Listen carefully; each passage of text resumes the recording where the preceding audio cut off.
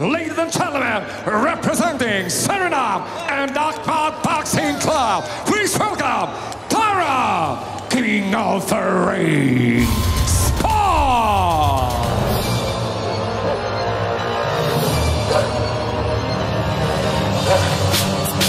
Het Nationaal Informatie Instituut heeft een vraaggesprek gehad met Tyron Spong. Spong heeft Suriname altijd op een waardige wijze uitgedragen tijdens internationale kickboxwedstrijden. Successen zijn ook niet uitgebleven. Met deze succesvolle vechter, die ook actief is in de bokswereld, praten wij over het begin van zijn carrière, de toekomstplannen en heeft hij ook een duidelijke boodschap aan alle sporters.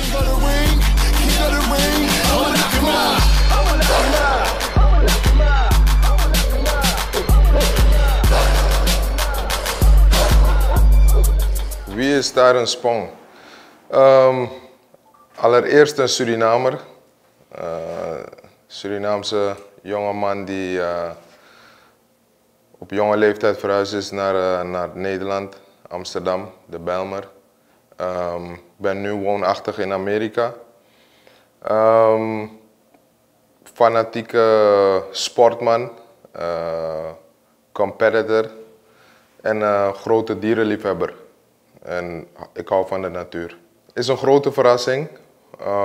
Eén um, die ik denk dat uh, ja, erg, erg goed zal vallen bij, bij de bevolking. Maar het zijn een paar grote projecten waar ik aan werk nu.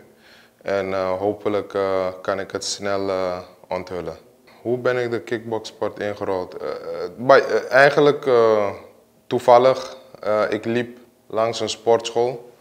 En ik zag een van mijn schoolvrienden de, de sportschool binnengaan um, om te trainen, kickboksen. Dus ik liep naar binnen en ik zag die jongens daar, uh, daar trainen.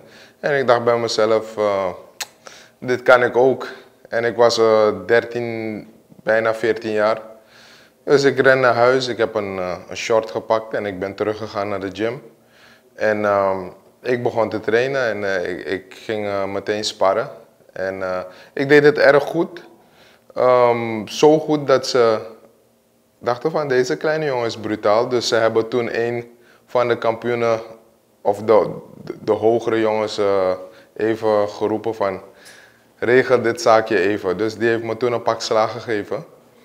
En ik ben het niet vergeten. Dus de volgende dag was ik er weer.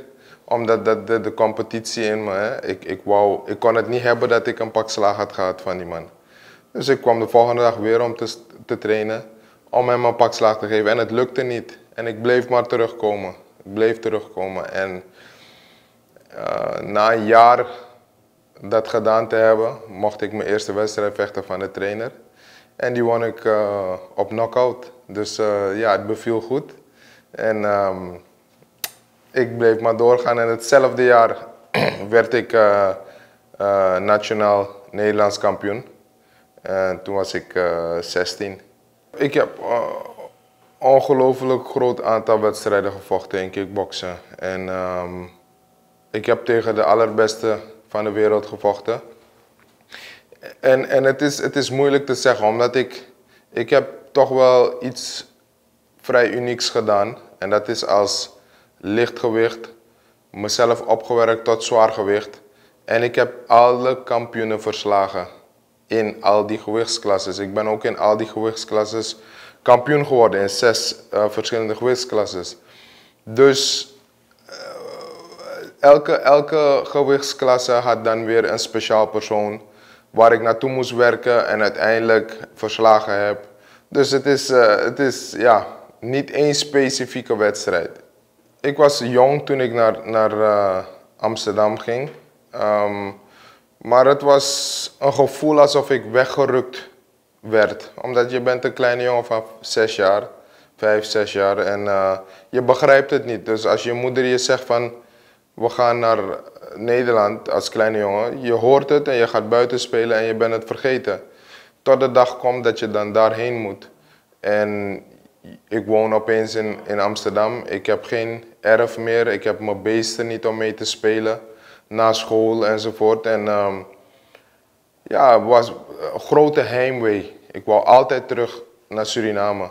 En um, op een gegeven moment toen ik actief werd als sportman, als vechter, ehm, ben ik op uh, vrij jonge leeftijd, op, op 18 jaar, toen ik professional werd, koos ik ervoor om voor Suriname uit te komen.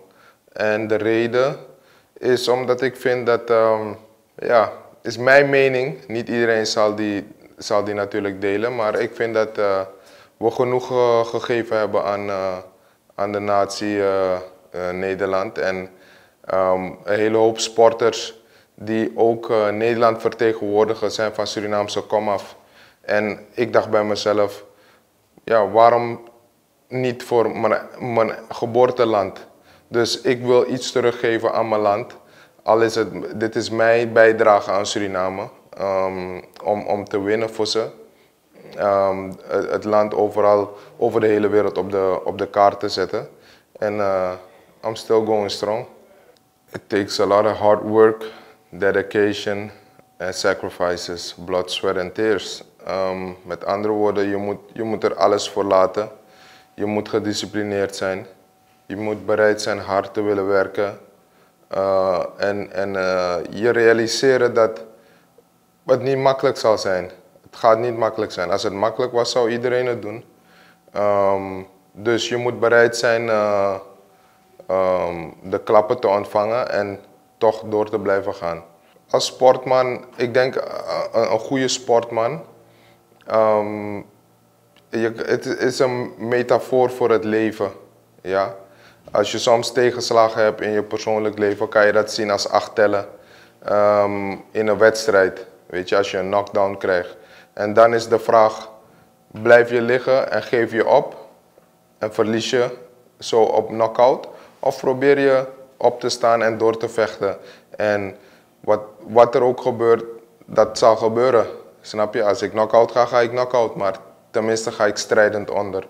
En dat kan je dus ook toepassen in je persoonlijk leven met je werk, je relatie, noem maar op. Niets, uh, niets is makkelijk in het leven. Ik zou mijn wereldtitel voor de laatste keer verdedigen in Turkije. Um, ik won de kwartfinale, of nee, de halve finale. En in de finale uh, liep ik die fractuur op. Um, het plan was al om na die verdediging over te stappen naar het boksen, omdat ik al tienvoudig kampioen was en ik heb alles bereikt. Dus ik wou een nieuwe uitdaging en ik geloofde erin dat ik dat ook kon. Ik, geloofde, ik geloof erin dat ik bokskampioen, wereldkampioen word. Um, en ik liep die fractuur op en de, de organisatie die, uh, die kwam terug bij mij. Ze wilden me weer een contract aanbieden. Maar het was een beetje ja, disrespectful om mij als hun kampioen, die de promotie Glory wereldwijd op de map heeft gezet, zo'n aanbod te doen. Dus uh, de trotse Surinamer die ik ben, zei: Laat het maar, ik, uh, ik, ik ga wat anders doen. En ik heb het gedaan en ik heb er geen spijt van. Ik ben nu een jaar verder en ik heb twee kampioenschappen gewonnen in het bokzaal. En ik ben nummer 8, uh, of nummer 7, nummer 8 in de wereld nu. Dus uh, we zijn uh, op de goede weg. De kickboxsport in Suriname zit in de lift. Um, vanaf het moment dat ik ongeveer 11, 12 jaar geleden een evenement hier heb gedaan toen, Return of the King, um, heeft het echt de sport gecatapult, weet je. Dus omhoog geschoten, is, is de sport omhoog geschoten hier.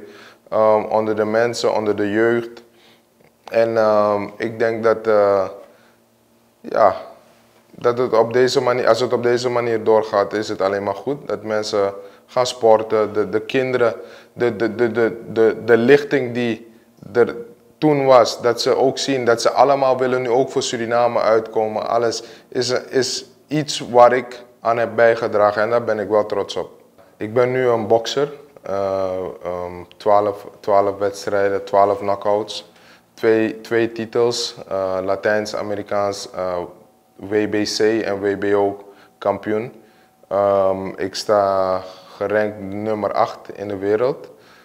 Is uh, voor het eerst in de geschiedenis van, van de boksport dat de Surinamer op dat niveau gepresteerd heeft en Suriname ook vertegenwoordigt. Wanneer ik het niet meer aan kan, wanneer ik voel dat ik uh, niet met plezier uh, ga trainen um, en het fysiek niet aan kan. Um, maar om een geheim te verklappen, en ik meen het, ik voel dat ik mijn piek nog niet eens bereikt heb.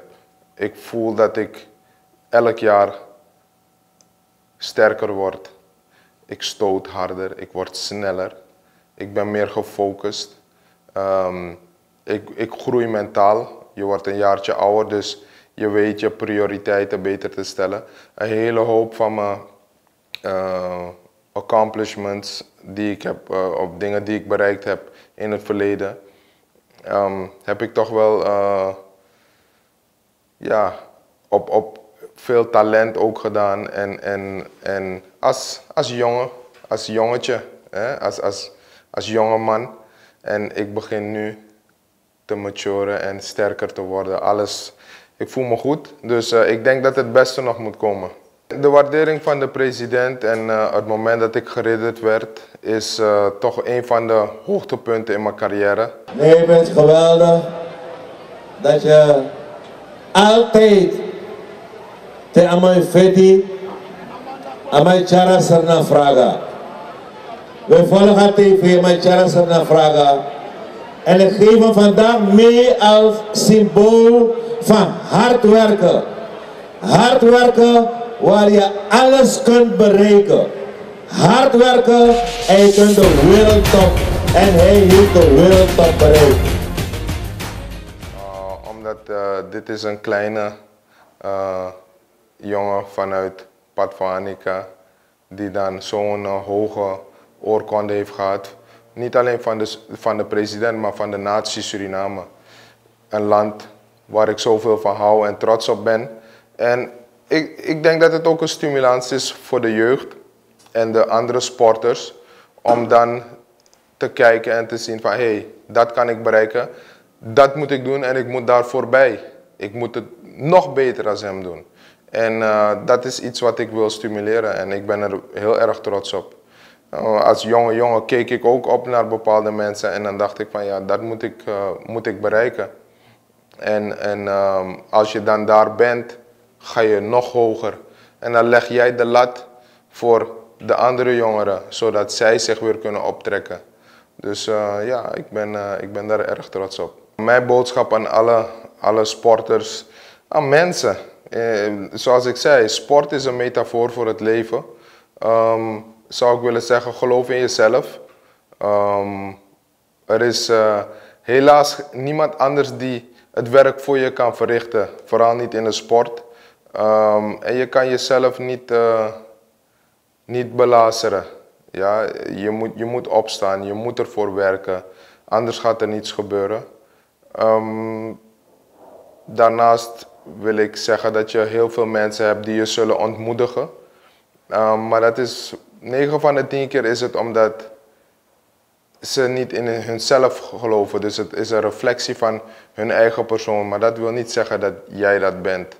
Ja, dus je moet in jezelf geloven, hard werken, discipline hebben, um, bloed, zweet en tranen. En je moet uh, rollen met de klappen en gewoon doorgaan.